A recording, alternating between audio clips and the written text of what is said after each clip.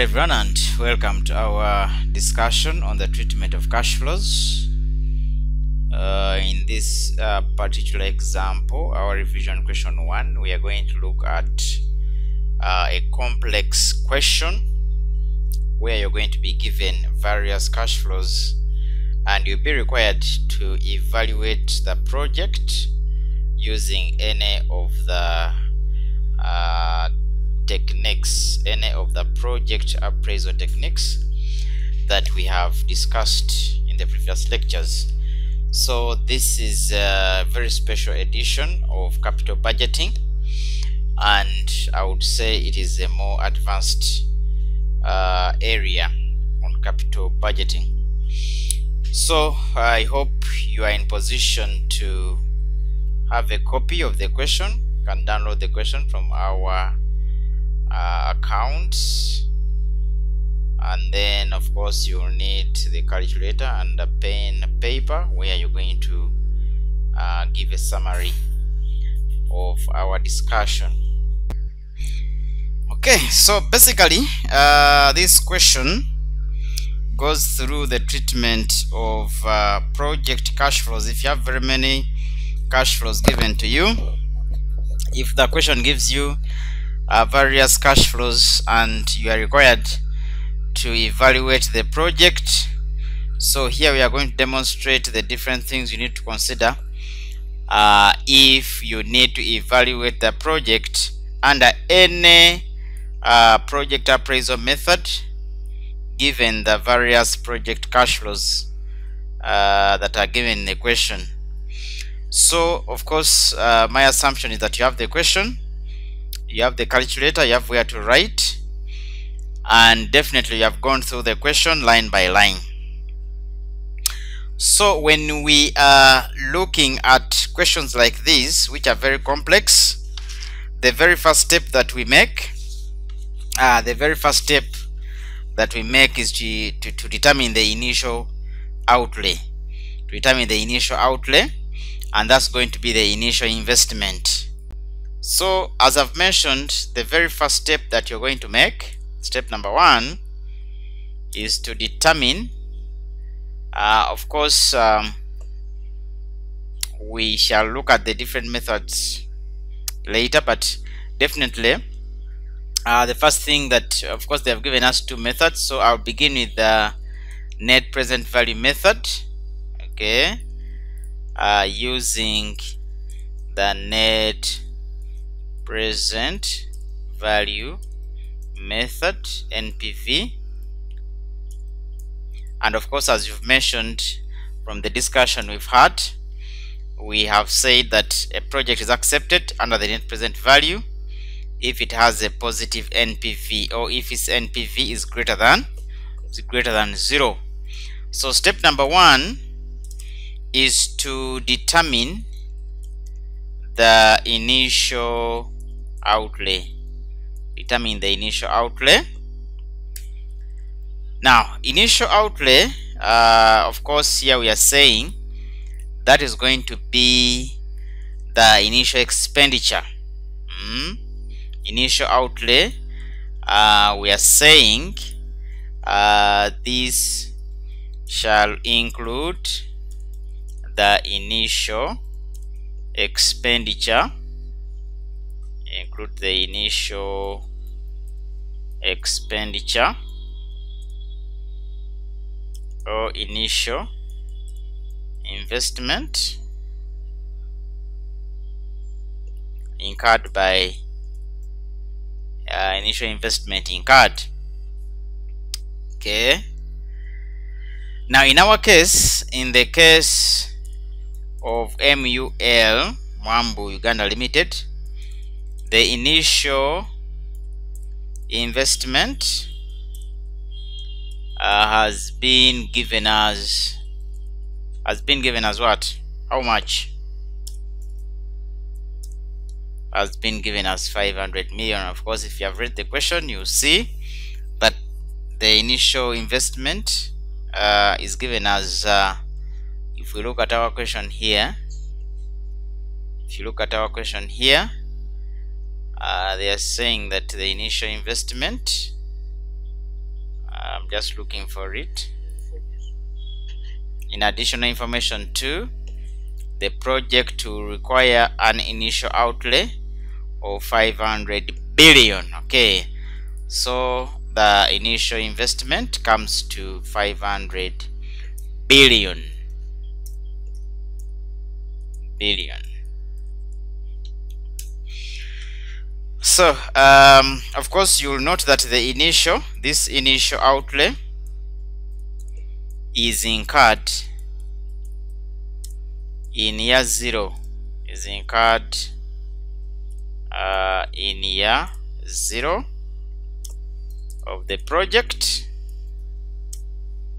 before before it's uh, before it is fully operational before it is fully operational.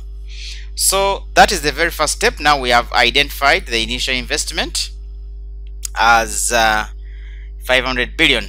However usually this initial investment may include other things.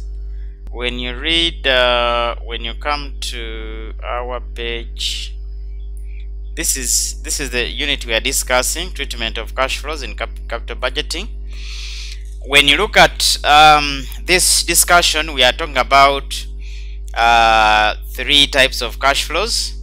The initial cash flow or initial outlay the intermediate cash flows and the terminal cash flows. And we are saying that the initial cash flows these include the expenditure incurred before assets or projects are fully operational. They are incurred in year zero and those costs include uh, the cost of the asset the invoice value capitalized expenditure opportunity costs investment allowance or tax holidays changes in working capital. So in a fully fledged question where, where you're given uh, numerous items for initial uh, initial investment or initial outlay you'll include the cost of the asset okay here. Then you add capital expenditure. Here we are looking at things like transport installation insurance and so on. You bring it here. Then you bring in legal fees which are the incremental costs. You bring them there. Then there is increase in working capital. We shall see this and opportunity costs. Include them there. Uh, decrease or release working capital. Again this one we shall treat it separately though I brought it here in the discussion. Then the, some investment allowances will also be included. These are usually uh, releases or savings so at the end of the day what we get down here is what we call the initial outlay. Okay? That would be the initial outlay. So for our case the initial outlay has come out as 500 million. Then next the other second type of the cash flow are the intermediate cash flows. Okay? The intermediate cash flows. So uh, we are saying that these are cash flows that an investor expects to generate over the project's life after the initial outlay has been made they include increase in sales revenue cost savings adjustment of depreciation and tax shield. Um, of course I demonstrate how this one is done for our particular question. So for our particular question these would ideally be the intermediate cash flows the ones happening between year one and year number what? Year number five because our project is going to run for five for five years. So how do we treat all these um, intermediate cash flows? How are they treated? So I'm going to take you back to our working here. Okay. So step number two determine the intermediate intermediate cash flows.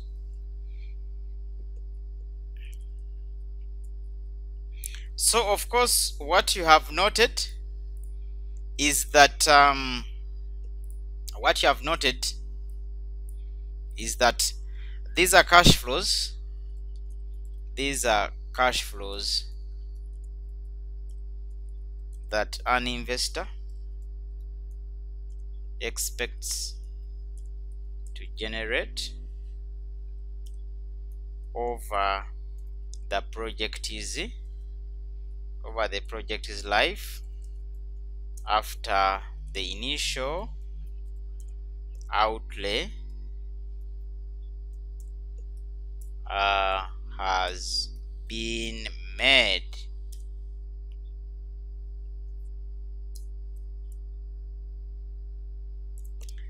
and of course we are saying that in most cases one may need to convert profit flows into cash into cash flows as shown in the table below. As shown in the table below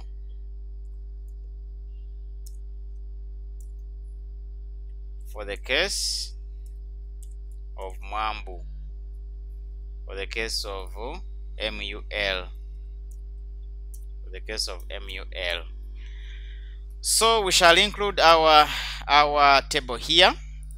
Because remember these cash flows are going to run from year one to year number what? To year number five not so? So I'll need uh, a six a six by A six by six can do. So I'm going to have my years included here.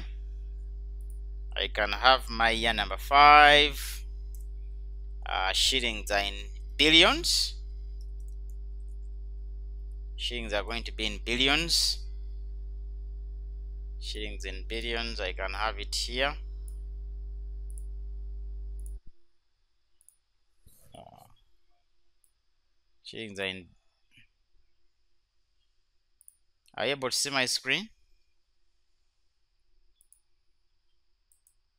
Yes.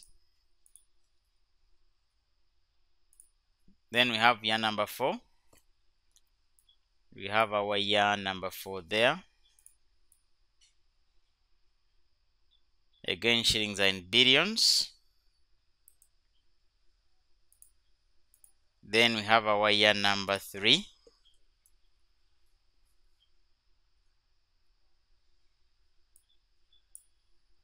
we have our year number three. Uh, shillings are in billions again. Then we have our year number two.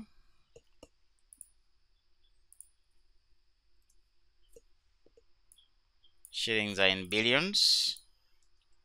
Then we have our year number one. Shillings are in billions. So can just tidy up my table here here we shall include the items. And of course I'm going to be picking all these from the table given in the exam question. In this case you have to begin with profit after tax this one here. Keep on picking the figures the profit after tax because we are going to convert the profit flows into cash flows. So we shall pick up those figures. I can just take you back this is going to be profit uh, after tax profit after tax uh, profit after tax we have 38.5 year number one we have 109 year number two this is 140 you have 94.5 94.5 and then we have our 90 our 98 so i'm picking all those figures just from this question here. 38.5 119 140 94.5 and 98 right there. Then i proceed to adjust these uh, profit flows. First of all by adding back interest i add back the interest I'm going to give the reason why. Add back uh, interest. Note 1 note number 1 you're going to read my note there. Now the interest from our question here uh, the interest expense I have 35 40 55 60 70 for year 1 to year 5 respectively. So I'm going to bring in those figures, add them back to the profit after tax. I bring the 35, I bring the 40, I bring the 55, I bring the 60, and then the 70. Now, why did I add back the interest? What could be the reason? Now, of course, I'm going to put my reason here, my note 1.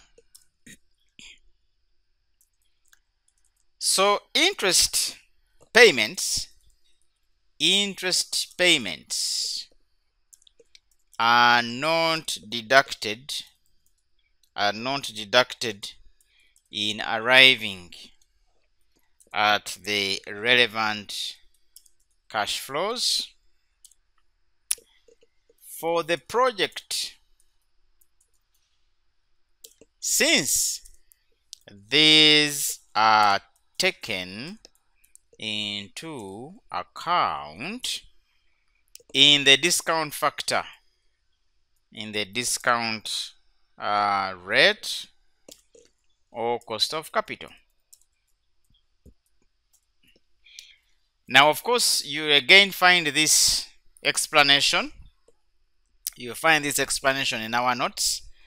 If you look at our notes here, we are giving reasons why uh, cash flows are treated the way we are treating them. So the reason why we add back interest payments is here. So we are saying that the interest payments cannot be deducted in arriving at the relevant cash flows for project investment appraisal purposes Reason being that reason being that for us to appraise a project, we need to use a discount rate, and that discount rate is what uh, caters for the interest payments. So we don't go into uh, deduct. Uh, we don't go into interest payment deductions when we are arriving at the relevant cash flows. So in this case, um, in this case we have added back the interest payments now next after adjusting that we add back add back the depreciation. We add back the depreciation. So from our question the depreciation charge um, if you look at our question here the depreciation charge comes to yeah it's given in the note. It's given in the note. All right from our note number one you will see that we are saying administrative expenses include depreciation of 5 million uh, include depreciation of 5 billion every year now we add back that depreciation and the reason is that for us to convert uh, the profit flows to cash flows, we add back all those non-cash items. So the formula ideally would be that a cash flow a cash flow is equal to a profit flow plus non-cash items. And typical of this is depreciation. When the formula is here the formula is here. Cash flow is equal to profit flow plus non-cash items like depreciation. So that's why we've added back the depreciation. So at the end of the day we shall have what we call the project cash flows.